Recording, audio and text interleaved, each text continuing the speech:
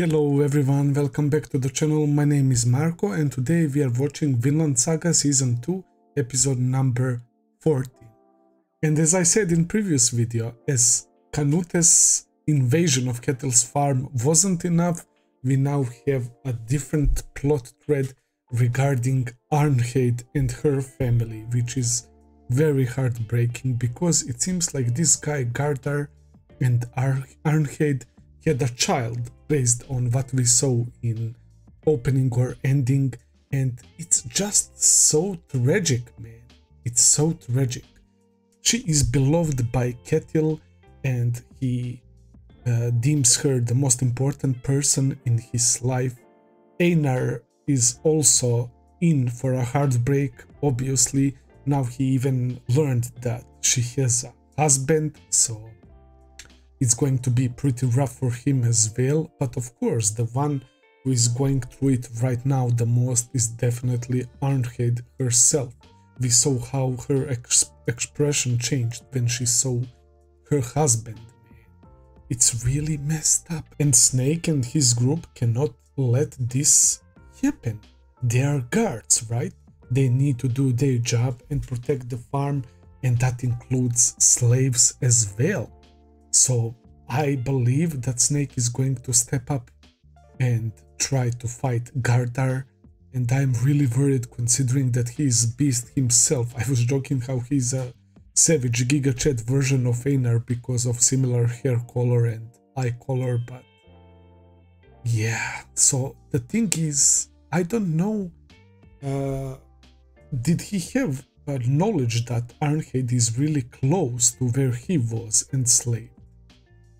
Because why did it took so long? I guess he was chained and the owner was known as someone who didn't treat his slaves well, right?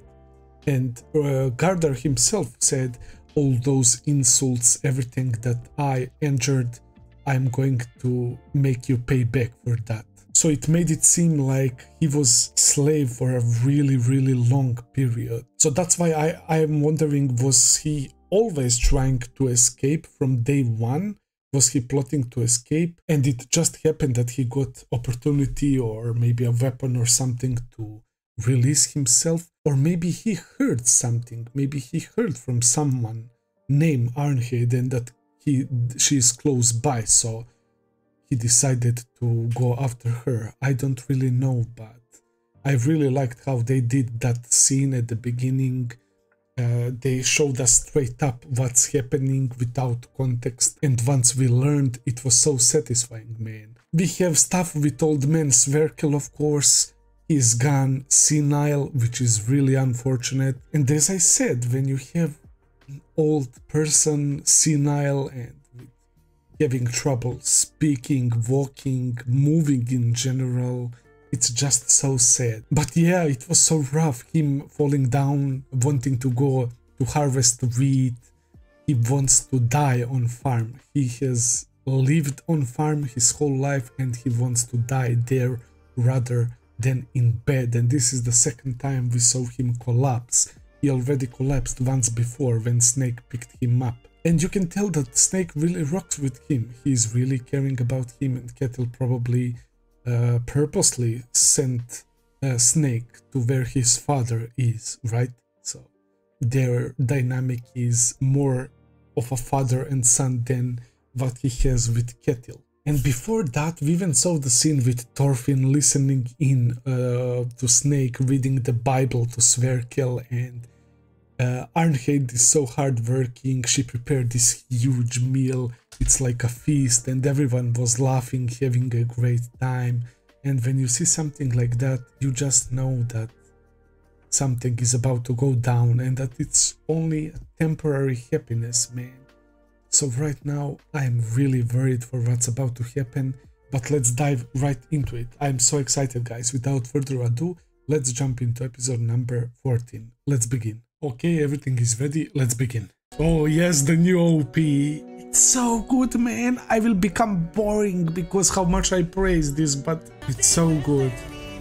Oh yeah, and this last shot. Ah, what a nice touch. Perfect way to end the opening.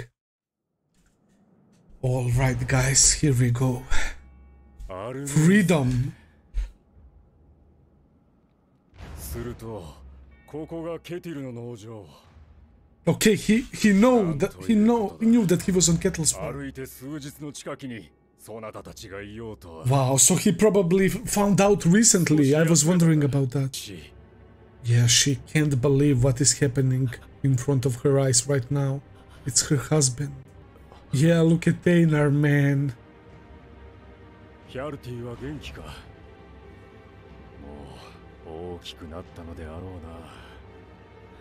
Is that their child?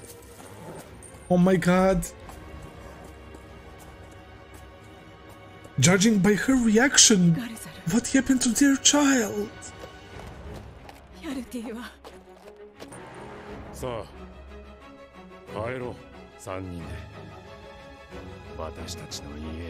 All three of us.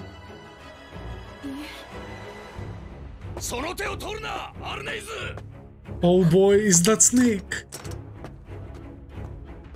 Yep, that snake. Oh my god, Fox and Badger, they're attacking! Yo, he cut the horse! His wheel! Oh my god, poor Narcade, man! What the fuck is going on? To be honest, he does seem like he lost his mind. Oh my god, he's confirming. Split his head wide open. Protect her with her with your life. Oh shit. And he's not even saying that he isn't やめてガルザル Can you really blame Gardar, but also, like, s- Einar? やめろエイナル事情もわからないの Oh に my god, bro! ヘビさんに Thorfinn is stopping him. 事情なら分かってるアルネイツさんの亭主が彼女を助けに来たんだアルネイツさんに自由になってほしい Bro! Einar is such a good guy, man! 三人 That 倒されて is 逃げられ true ないんだぞ love, bro. Wants to help her husband because he wants her to be free. Oh 白 shit. 人だろうと誰だろうとこの斧で人をじゃあどうすりゃいいんだよ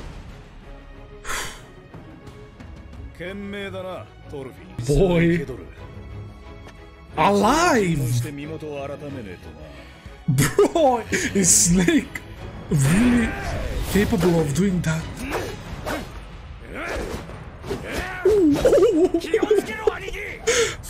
oh my god, Snake is insane.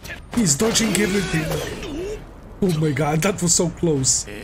Yeah, Thorfinn didn't sense that Askeladd energy for nothing. Nope.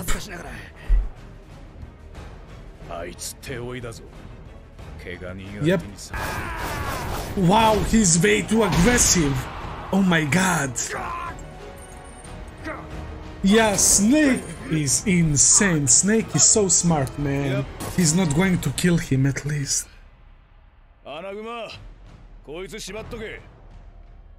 Gardar is incredibly strong, but he was only going on offensive non-stop, and Snake noticed that. Bro. Arnheid scream. What the fuck is even going on? She's covering her ears. Oh, this is rough, man. This is so rough. After he finally reached his wife, he gets captured. He gets captured again. Oh wow.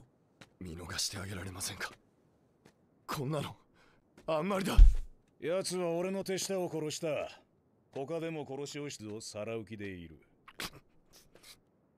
見逃せるわけねえだろそんな奴を In other words, he's doing what he is being paid to do. But it's so fucking sad, man. Please, 奴のこと somebody は忘れろ give her a hug or something, あれは man. お前の夫じゃねえ That's not your ただの husband. 行かれたとんだぞ or he was in rage mode or but I do wonder what happened to their child. Arnheid seemed like really shocked when he brought up their child. Maybe their child died and maybe Gardar knows that, but because he lost his mind, he went crazy. It's Einar, yep, he's very nervous right now. He's tapping his feet. エイナル待て。エイナルさん。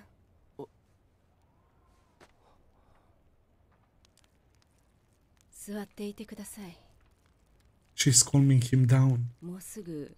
うちなら砦に忍び込んでガルザーさんを助けられるかもしれない。何もしなかったら旦那さんは確実に処刑されでもいいんです。どうにもならないことってあるわ。はいいの。じっとして嵐が過ぎるのを待つの。Sit still and wait for the storm to エ pass. イナルさんまで嵐に巻き込まれないで。Wow. あのこと好きじゃないんですか？好きよ。結婚なんて親同士が決めるものだけど。彼。のことになっても何もしないよりマシだそうだろトルフィン。But she said that he was a kind guy. 頼むトルフィン We saw him smiling in the opening. 俺が見張りを引きつけるからお前は私はお鍋のせいで息子を失いました Lost my son because of pots. What? 私のことをお話しさせていただけ Yes, please. Oh my god. And Sverkel is awake. He's listening.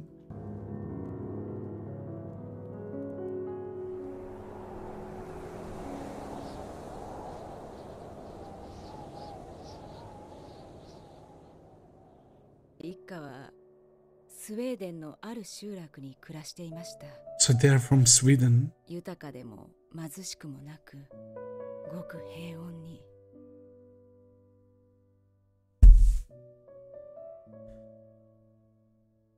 町が見つかっていくつかの勢力の間でその沼地の所有権をめぐって争いが起きるの友人もいて彼に助けを求めてきたの Oh boy. And of course he ザルザル accepted. は集落の皆にそのことを伝え男たちは話し合いました They joined the battle for it. 戦いに参加するか否か勝てば哲学した決断は参加でした Of course.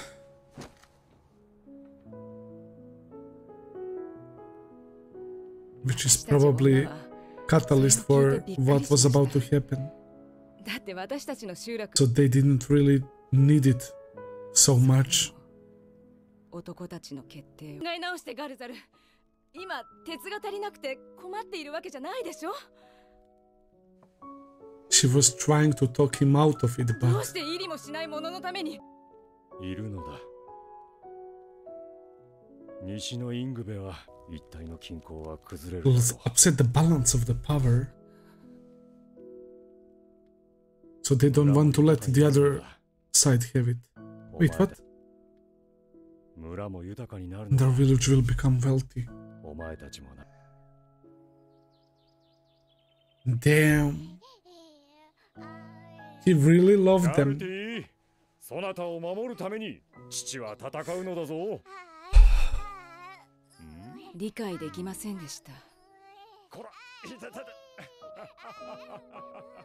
守るためなら若い男は皆戦へ赴き残された女と子供は家を守る Please don't tell me that they got attacked while the men were away they probably if that happened they probably had that information it wasn't them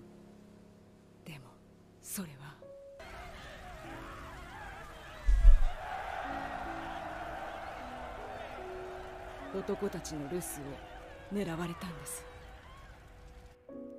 家は焼かれ老いた者は殺され女は船にヤルティを Holy shit, man.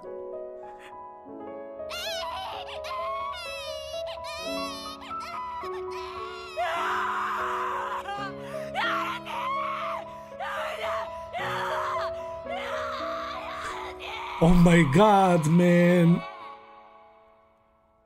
Imagine seeing your child taken away and you're so powerless to do anything, bro. I was afraid of him. So there is a possibility that their child is at least alive. Yeah, look at he's completely different person. He's the storm itself now. oh my god. I must protect my child. コードも She's pregnant, bro. What is it with Kettle? 私のお腹にはケティル様のお子がいます Oh my god, what is 旦 happening? 那様はきっと平和に健やかにこの子を育てることができます and knowing that King Canute is coming, man. Uh, what a tragic fucking fate! So they didn't even get caught and enslaved at the same time, right? It just happens that they were so close to each other. Arhe thought that she won't even see him in her life, probably, and her child as well. Yatli was taking taken in front of her eyes, man. And now she has another child coming inside of her, Ketil's child. And she, after all that she went through, she, she still has sanity to think about the whole situation and see the big picture and decide what would be for the best. And I fucking hate that King Canute is coming here right now and her saying that the child can live here peacefully, man. Her life is nothing but a tragedy, bro. Oh, this is insane.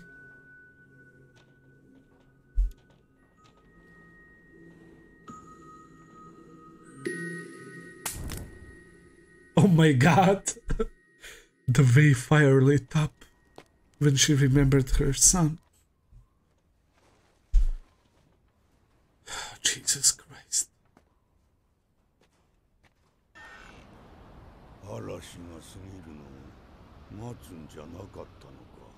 Old man. What is she planning to do? he's still he's still fighting, man. but it's okay if he heard something like that. So he knows that his grandson or granddaughter is on way. Oh my god, bro, she's so good, bro. She's like Einar. They're the same. They're such a good people, bro And she still wants to go and treat his wound. わしもかつてじっと耐えて嵐をや隠れておったのだ I trembled as I hid. 震えながら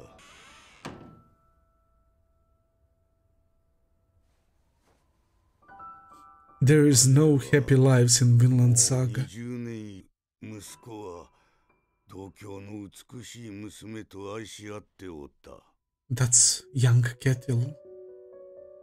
だがある日、その娘がれてしまい、わしらは苦しい決断を迫られた。Wow! Ketil は娘を守るために戦いも辞さない。Sverkel wasn't. だが我らの力されると。So they... 下した決断は Norsemen would be disgusted. And it would explain a lot why Ketil and Sverkel don't really rock with each other that much. Oh shit, there is more. He was shot. エッペの富を妬み憎しみを抱いた男 Oh my god, the writing of this show. 時にはもう何 何もかも焼き尽くされた後だった And the fact that he hates wealth and that his son Ketil is also expanding his property and everything. It can only lead to tragic ending.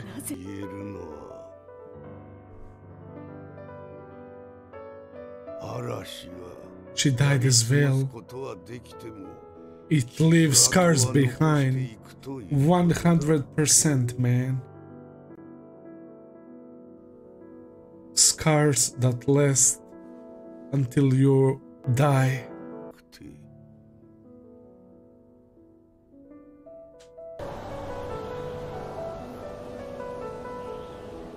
That piano though.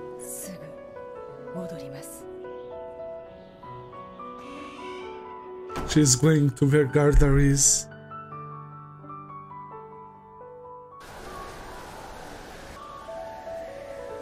What a woman. The fact that she's still sane after all that happened to her.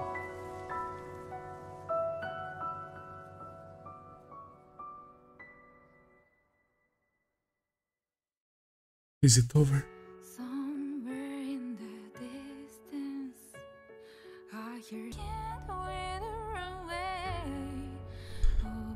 The shot that we saw right now, literally.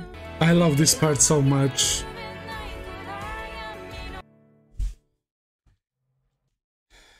Wow, guys, incredibly depressing episode. Arnheid's life is so tragic, man. All of these characters are going through hell, literally. And this is only like few characters that we are following in that time period. It's unimaginable how many tragic fates they were. And Thorfinn's reaction to uh, Arnheid's story was also interesting because he knows that he himself contributed to some of the tragic stories that happened as well. The writing is so damn good. Arnheid was afraid of Gardar because he looks like a completely different man. Of course, slavery changed. And there was a chance for Thorfinn to end up like him as well, right? If he struggled and continued to fight, right? But because of uh, Askeladd's death and all the traumatic events that happened, he went in a bit different direction, right? He stopped caring for his life and he became obedient. But Gardar, uh, it seems like he found out that Arnheid is still alive recently. That's the way I understood it, but of course, it's not still confirmed. How many years were they apart and uh, when did he learn that Arnheid is alive? So she lost her child. Did they took him away? Would they do that? I don't know if they killed him. It's kind of hard to tell. The way I saw it was that they took him away from her, but they maybe killed him because, like, he was very young. I doubt that those band of Vikings would care about raising a child, man.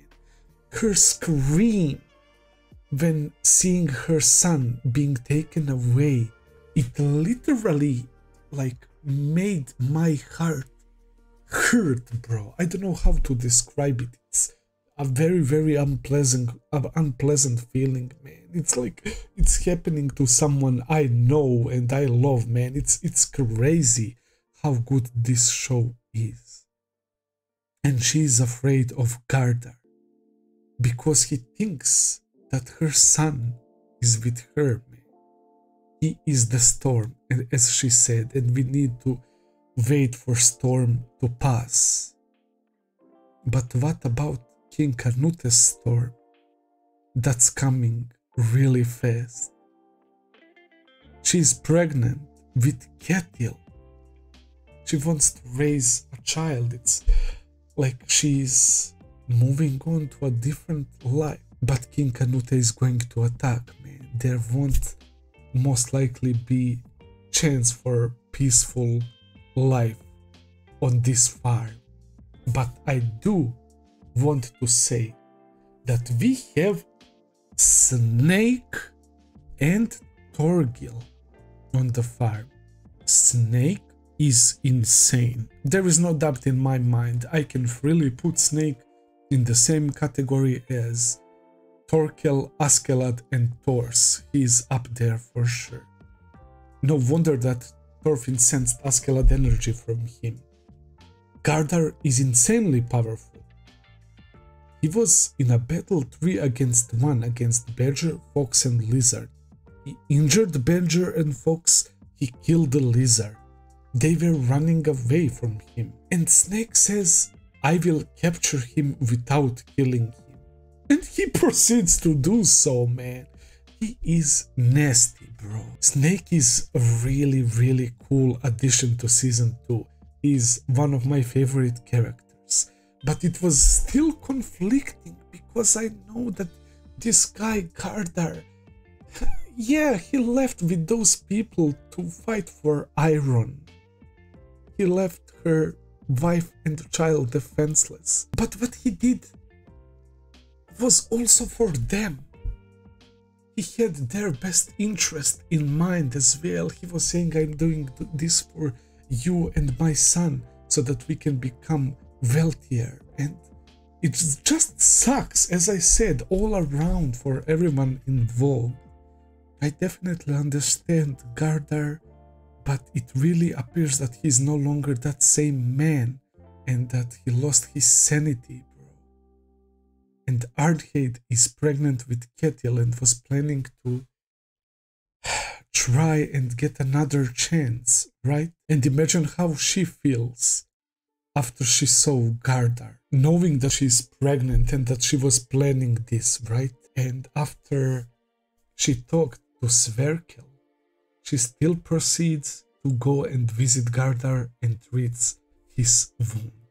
That's why I said she is exactly like Einar. They would be perfect match, man. They're both so good, man. Like everyone needs people like Arnheid and Einar in their lives, bro. And it's true love, right?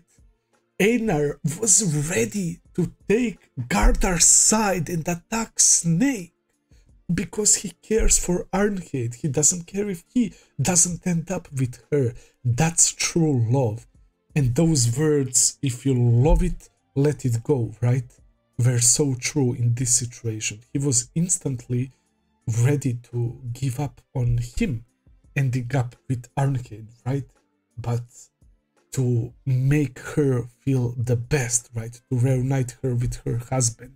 He thought that that would be her wish. It was before her story that she was telling to Thorfinn and Einar, and Sverkel was listening, of course, which now shines the light on why Ketil and Sverkel had have they still have a decent relationship. I can't lie. So Ketil was in was in love with a girl and another dude who was more power, powerful and wealthy from another village was in love with her as well. So Sverkel also waited for the storm to pass, right? He didn't want to fight. Everyone knew that he would lose and that he would potentially lose what he had in his life even. So he decided to give that girl to the man, what was his name, Ebe or Ede or something. And Ketil was of course devastated because he was ready to fight, but Sverkel no, they stood no chance, so they traded that girl for peace, I guess. Which is yet another example that a woman had it so rough, man. Like, imagine that being living, breathing being just like everyone else, but you are not in control or anything, and your wishes don't count at all, man. Like, fuck, bro. It's so tragic. It was incredible episode, much needed episode. Arnheid is also one of the characters that I really like. I will end the video here for today guys. Thank you so much for watching. I hope that you enjoyed. If you did, please consider subscribing, leave a like, comment, all that good stuff as always. Check out my Patreon page if you want to see full and early reactions. I will be seeing you very soon with another video. Until then, take care and have a nice day. See ya guys.